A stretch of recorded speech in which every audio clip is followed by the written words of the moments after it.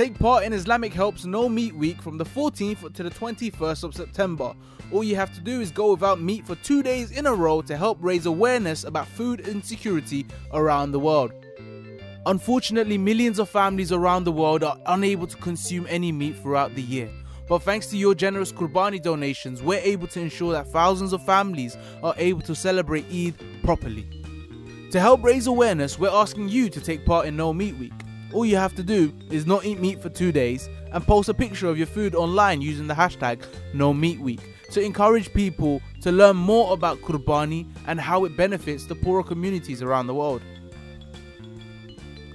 However, if you do still need to donate your Qurbani, you can donate it with Islamic help from as little as £25. Just simply call 0121 446 5682 or visit IslamicHelp.org.uk. And if you want to find out more information about No Meat Week, visit IslamicHelp.org.uk. And I'm going to say it again just for the sake of saying it again IslamicHelp.org.uk.